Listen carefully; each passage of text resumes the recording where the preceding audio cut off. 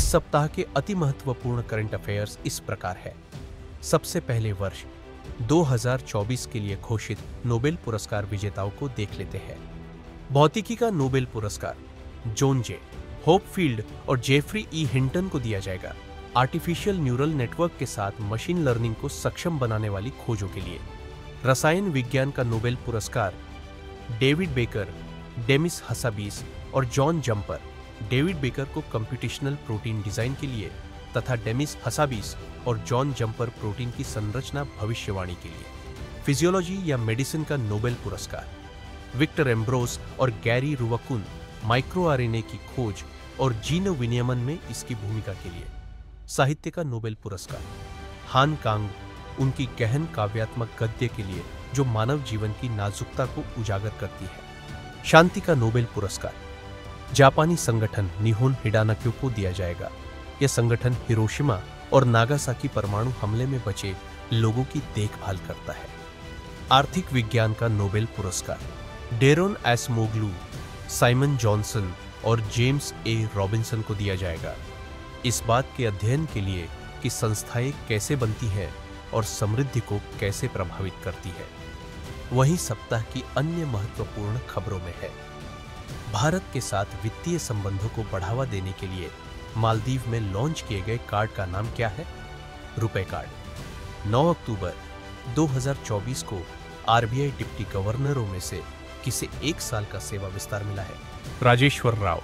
सेवानिवृत्त होने वाले सरकारी कर्मचारियों के अनुभव।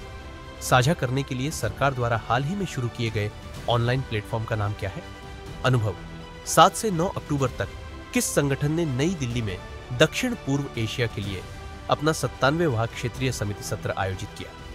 विश्व स्वास्थ्य संगठन ने। हाल ही में किस राज्य के मुख्यमंत्री ने निजुत मोइना योजना के तहत मासिक वित्तीय सहायता का वितरण शुरू किया है? असम के मुख्यमंत्री हिमंता बिस्वा शर्मा ने निजुत मोइना योजना बाल विवाह के रोकथाम और छात्राओं को उच्च शिक्षा प्राप्त करने में सहायता करने के लिए है। चौथी I S S F junior विश्व चैंपियनशिप 2024 में पदक तालिका में कौन सा देश शीर्ष पर रहा? भारत।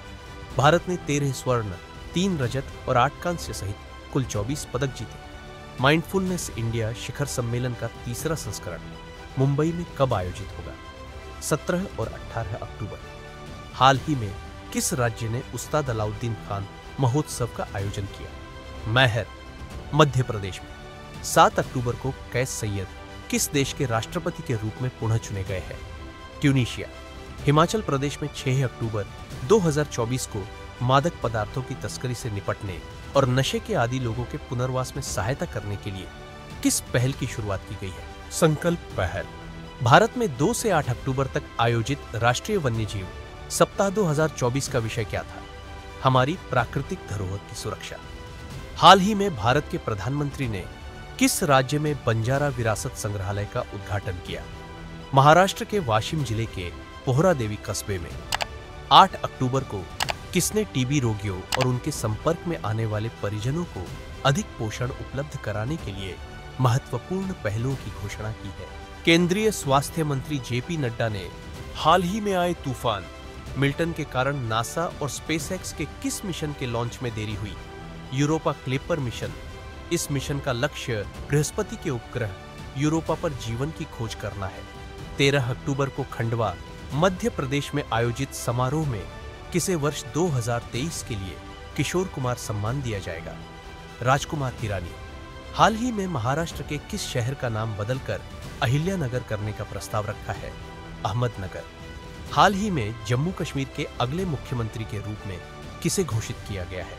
उमर अब्दुल्ला। हाल ही में किस राज्य ने जल जकार अभियान की शुरुआत की है? छत्तीसगढ़। हाल ही में किसने प्रयागराज में आयोजित होने वाले कुंभ 2025 के लिए नए प्रतीक चिन्ह का अनावरण किया? उत्तर प्रदेश के मुख्यमंत्री योगी आदित्यनाथ, भारत की मेजबानी में मालाबार अभ्यास का 28वां संस्करण कब से कब तक आयोजित किया जाएगा? 8 से 18 अक्टूबर 2024 तक। 7 अक्टूबर को विश्व कपास दिवस मनाया गया, वर्ष 2024 के लिए। इसका विषय क्या था? सूती वस्त्र मूल्य श्रृंखला को आकार देने वाले मेगा ट्रेंड्स। नवंबर। 2024 में विस्तारा एयरलाइन का विलय किस एयरलाइन में किया जाएगा? Air India. हाल ही में विश्व बैंक के साथ हुए समझौते के मुताबिक, किस देश को कार्बन ट्रेडिंग से 1600 करोड़ रुपए मिलेंगे? नेपाल। भारतीय अंतर्राष्ट्रीय विज्ञान महोत्सव। 2024 का दसवां संस्करण कहाँ आयोजित किया जाएगा? आईआईटी गुवाहाटी में। 8 अक्टूबर 2024 को आयोजित 70वें राष्ट्रीय फ़िल्म पुरस्कार समारोह में बेस्ट एक्ट्रेस के नेशनल अवार्ड से किसे सम्मानित किया गया? नित्या मेनन और मानसी पारेख को।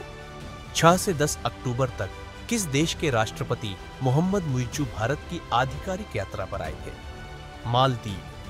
हाल ही में कहा बापू टावर का लोकार्पण किया गया है? पटना के गर्दनी बाग में।